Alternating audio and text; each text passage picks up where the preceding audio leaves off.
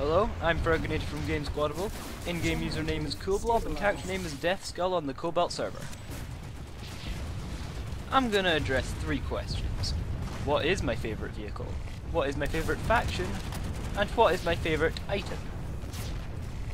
Well, my favourite vehicle has to be the wonderful Vanguard. An unstoppable behemoth that devours all that stand in its way, that feeds off blood and turmoil.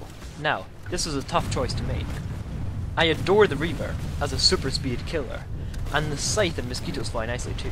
The Harassers are a fair challenge, but they don't really do it for me. The Lightning, however, is one that I really appreciate. You can customize it to battle against air units, infantry, or even other tanks. In the same way, the Max unit is very versatile. But to be honest, none of them really strike me as bad as as badass as my good friend the Vanguard. And let's face it. Would you rather have a shield that protects against all damage for 5 to 8 seconds as the Vanguard, or would your special ability be to stay still?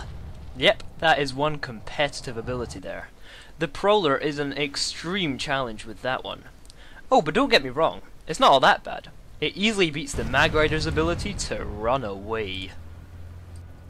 Now, as you probably guessed from my insight into the Vanguard, I'm an NC man. Ah, the new conglomerate. I mean, come on, who are you gonna go? Vanu? TR? With a new conglomerate, you have an entire faction of monumental badasses. Freedom over oppression, long live the new conglomerate. My favourite item in the game is hands down C4. Oh yes, C4. It's probably the most orgasmic item in the world. It's just so versatile and powerful and amazing. You see a lightning slaughtering your pals, what do you do? Use C4. You see a Maxit mowing down your squad, what do you do? Use C4. An enemy Sunderer is holding the ground of an entire army.